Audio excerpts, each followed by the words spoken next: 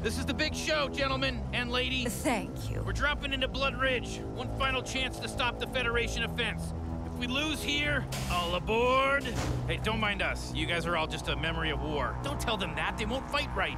I think it's best if we ignore this.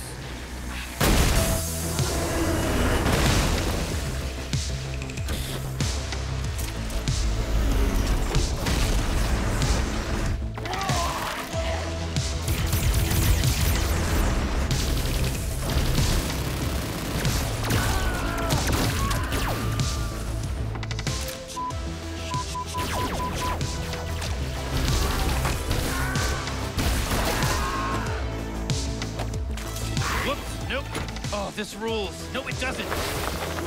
Neither does that.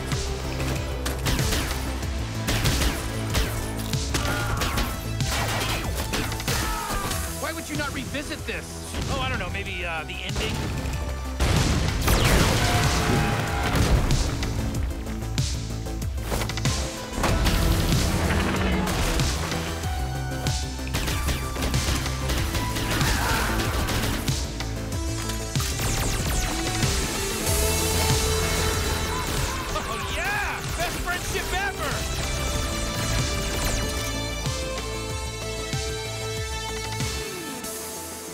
Rest of our life is just more of that, right?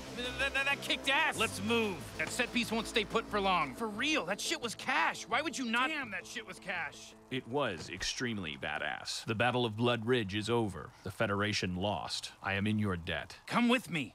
To somewhere nearby? Anywhere. Everywhere. Rick, I don't expect you to keep fighting, but this war is. Far from over, I know. Dude, I share this with almost nobody, but I could take you right now to this same battlefield in a universe where we lost, or another where we won, or another where the war never even happened. All equally real, all equally unreal. None of it matters.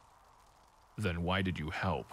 Because I respect you, and I wanted you to know you could respect me. Even though nothing matters? Okay, you matter to me. Uh, the relationship that we I never have used that word. Is not worth my integrity. Oh my god! It's not a complicated transaction, my man. Would you like to join me doing awesome shit that matters? No, I would not. I would rather be a judgmental dork. Case closed. Really no need to drag it out. If you need me, use the beacon. Yeah, I'm gonna use that beacon a lot. I hope, hope I don't wear it out.